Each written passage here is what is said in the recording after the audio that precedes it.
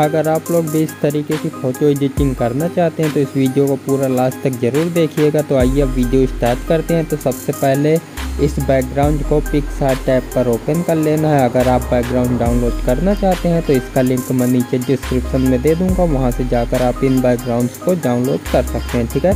इसके बाद add photo पर क्लिक करेंगे, ठीक है? यहाँ पर एड फ़ोटो का ऑप्शन है, इस पर क्लिक करना है और आपको अपनी फ़ोटो यहाँ से सिलेक्ट कर लेनी है, जिसको आप एडिट करना चाहते हैं, ठीक है? इसके बाद यहाँ पर आपको देखिए, इस फ़ोटो को हम एडिट करने वाले हैं। तो यहाँ नीचे आपको रिमूव बीजी का ऑप्शन दिखाई देगा। इस पर आपको क्लिक करना है। इसके बाद रिमूव बैकग्राउंड पर क्लिक कर देना है। फिर यहाँ पर ये थोड़ा सा प्रोसेसिंग होगी और आपका बैकग्राउंड यहाँ पर रिमूव हो जाएगा। देखिए कितना प्रॉपर बैकग्राउंड रिमूव हुआ है। इसके बाद इस फ़ोटो को हम एडजस्ट कर लेते हैं। सही से जितना देखने में अच्छा दिखाई दे। और यहाँ से मुझे इतना परफेक्ट लग रहा है तो इसे हम यहाँ से डन करेंगे। ठीक है तो आप लोग देख सकते हैं कितना प्रॉपर हमने इसको एडजस्ट किया हुआ है। तो यहाँ से इतना काम हो चुका है। इसके बाद हम यहाँ पर नीचे आएँगे और यहाँ पर हमको चलना है। एड फ़ोटो पर क्लिक करेंगे क्योंकि हमें यहाँ पर कुछ पी लेनी है ताकि देखने में और अच्छा दिखाई दे। इसलिए थोड़ा हम इसे सजाएँगे। तो यहाँ से मैं ये पी एन जी यहाँ से सिलेक्ट कर लेता हूँ, जो कि मैंने पहले से डाउनलोड करके रखी हुई है। अगर आप लोग भी इनको डाउनलोड करना चाहते हैं तो इनका लिंक डिस्क्रिप्शन में मिल जाएगा, ठीक है? तो मैं ये पी एन जी यहाँ से ले लेता हूँ। तो ये कुछ पीएनजी हैं, जिनको मैं ऐड करने वाला हूँ तो इनको मैं यहाँ से सही से एडजस्ट कर लेता हूँ पहले।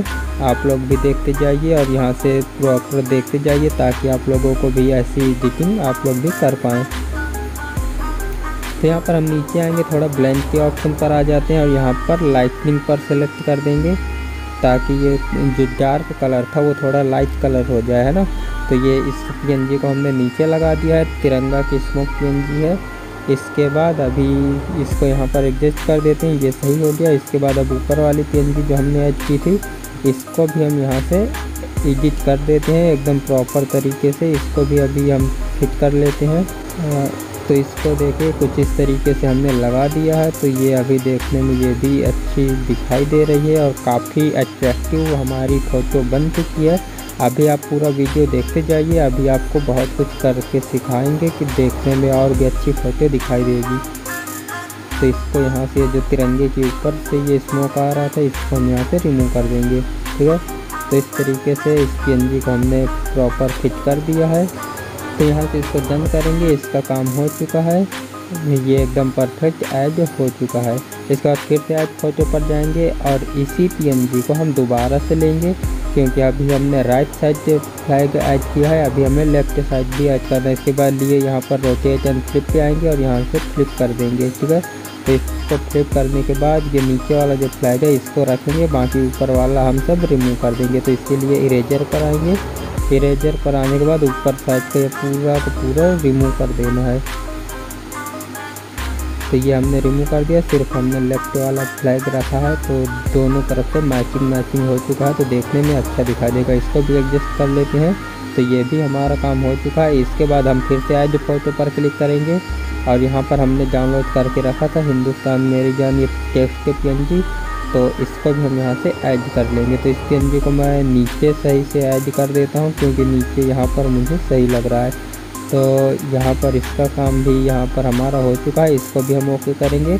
इसके बाद अभी हमें पगड़ी की पी चाहिए, क्योंकि हम लगाने वाले हैं तो इसलिए मैं यहाँ पर आ जाता हूँ।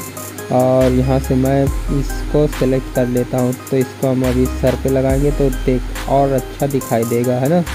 तो इसको मैं यहाँ से ले लेता हूँ। तो अभी इसको एडजस्ट करने की बारी आती है तो अभी इसको मैं अपने फेस पर यानी सर पर अपने सही से फिट कर लेता हूँ, ताकि देखने में अच्छा दिखाई दे। और ये जो स्टप आ रहा था, इसको हम यहाँ से थोड़ा इरेज कर देंगे, ताकि ये एकदम रियल लगे, है ना? फेक नहीं लगना चाहिए।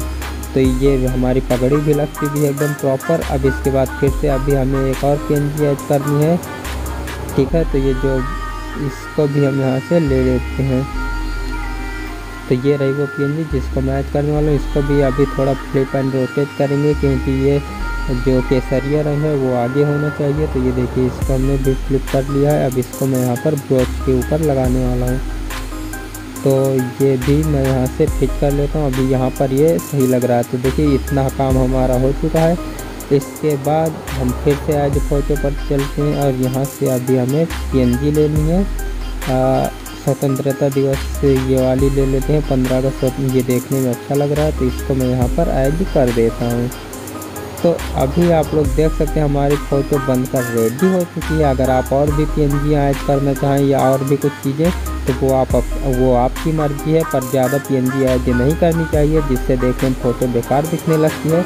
आप कम से कम पीएनजी यूज़ करें और आप लोग देख सकते हैं ये फ़ोटो कितनी शानदार हमने एडिट किया इसके बाद हम चलेंगे इफ़ेक्ट पर और यहाँ से थोड़ी शार्पनेस डाल देंगे ताकि डिटेल आ जाए, है ना?